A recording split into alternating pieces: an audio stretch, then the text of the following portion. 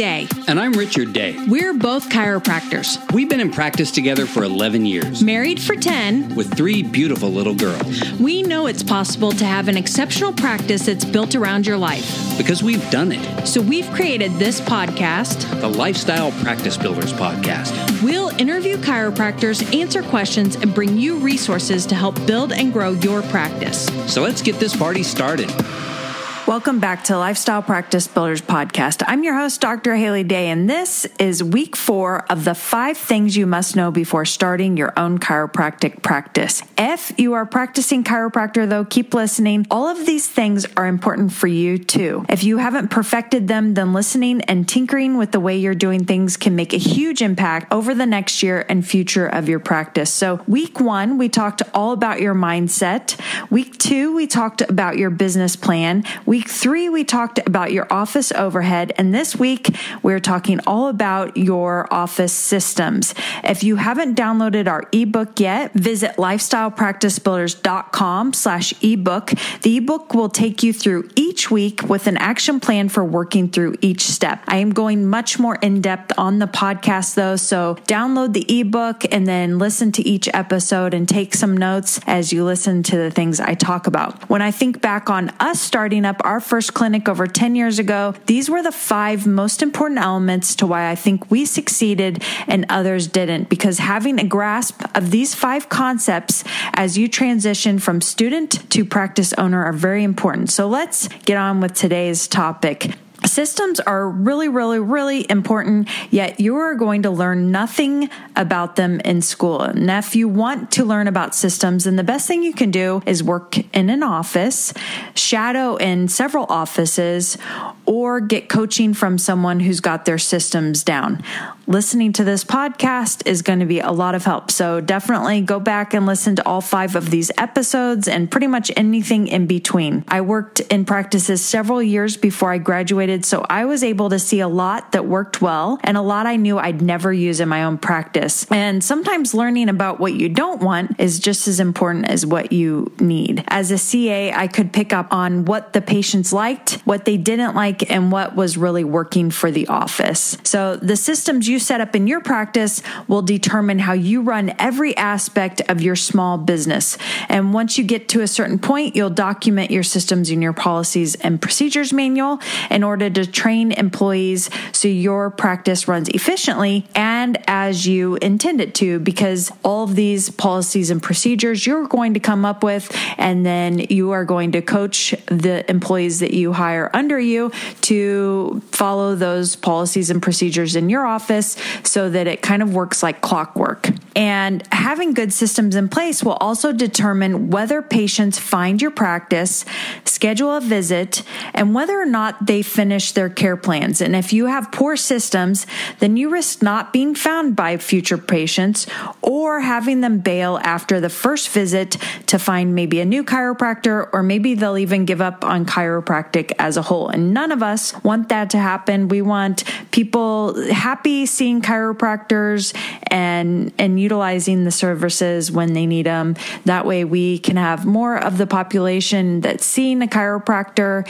and we're able to give them the care that we know that we provide that's different than um, other healthcare practitioners. And so let's cover some of the most important systems that you'll have in your clinic or that you should have in your clinic if you're currently practicing. The first one is marketing. And spoiler alert, marketing is also week number five. So if you're unsure of where to start with marketing, then stay tuned to that episode. Marketing is everything you do that will bring patients into your office and keep them returning to your office when they need chiropractic care. You're going to have internal marketing and external marketing, online marketing, and in person marketing. You'll have new patient marketing and returning patient marketing. So a lot of marketing is going to be going on. It's a lot about how you are going to initially have patients in your office and then have them return to your office when they need your care. At first, you'll try many different ways of marketing your practice, but after a few months, you should settle in and focus on what's working the best and where you feel most comfortable building relationships and really becoming a fixture in your community. And that's the best way that we think you can market yourself. And listen next week, and I'll talk about the marketing we used that worked, didn't work, and what I think are some of the most important ways to be marketing your practice in 2021.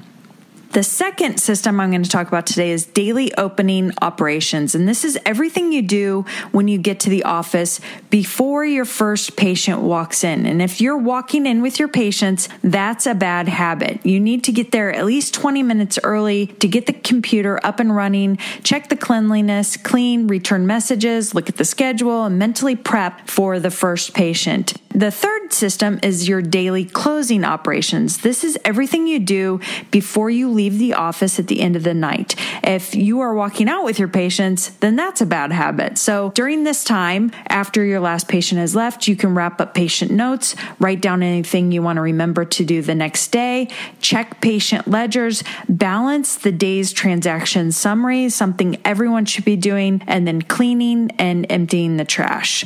The next system is your new patient system. This is everything you do from how all new patients schedule with you, how you take their phone calls, how you greet them, your exam process, your ROF process, your insurance process, and, and how you follow up after the first appointment. The next system is your insurance system. This includes everything from how you check patient benefits to how you bill the insurance company, how you enter EOBs when they come back to you, and how you follow up on processed claims.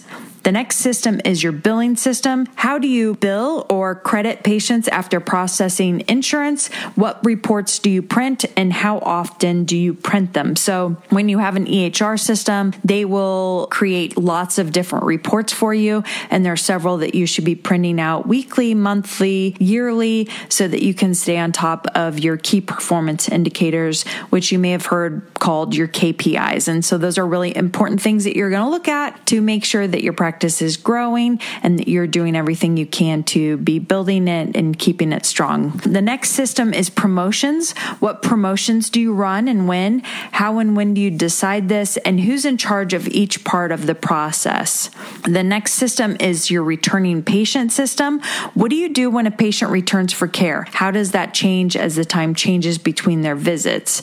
And so you really want to have a good idea of what you're going to do when someone calls back and they haven't been in in six months or a year or three years? You know, what's the process for that? The next system is a motor vehicle patient. So someone who came in because they were in a motor vehicle accident. How do your systems change when a patient comes in due to an MVA? The next system could be your referral system. How do you refer patients out? What's the system look like? Who do you refer to? And so you can see there are plenty of different systems that create an office. I'm sure there are many more that I didn't touch on today.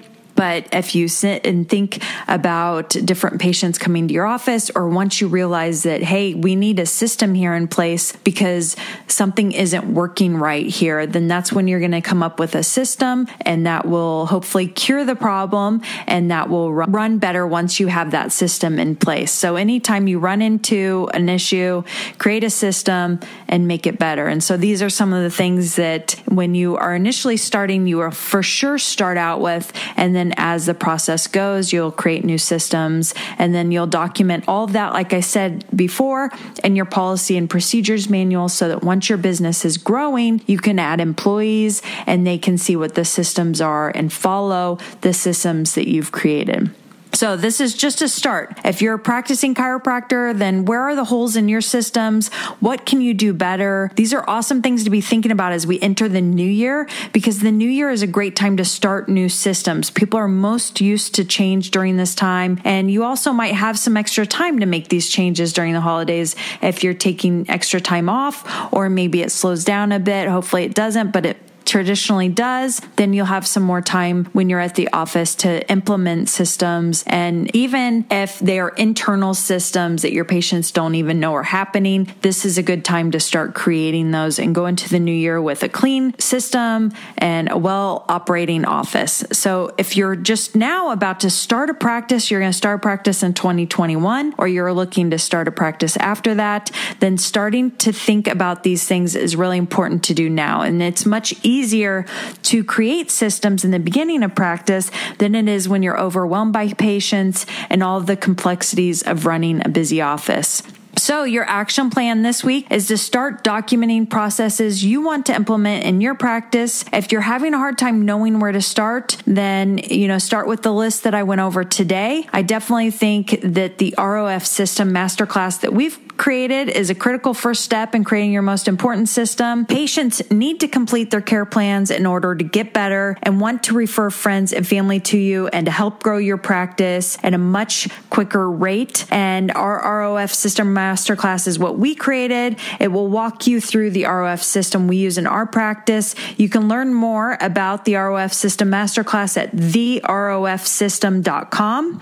And that completes week four. If you haven't downloaded the ebook yet, do it on our website at lifestylepracticebuilders.com slash ebook. Next week will be our last week. We talk all about marketing. Until then, I hope you guys have an awesome week. I hope you enjoyed this. I hope you're thinking about how you want your practice to run, the vision that you have, or if you're practicing chiropractor, hopefully you're thinking about maybe something that isn't going right or working well or taking more time than it should in your office and a system that you can create to fix that. If you have any questions, reach out to me in the DMs. Have an awesome week. If you enjoyed this podcast episode, please share it with your friends on Instagram and Facebook. And for those of you who are already subscribers, we really appreciate it. Thanks for the reviews. We love reading those and knowing that you're loving the podcast. If you're looking for more tips and inspiration, be sure to check us out at lifestylepracticebuilders.com or join our business and marketing Facebook group for chiropractors at facebook.com slash group slash lifestyle practice.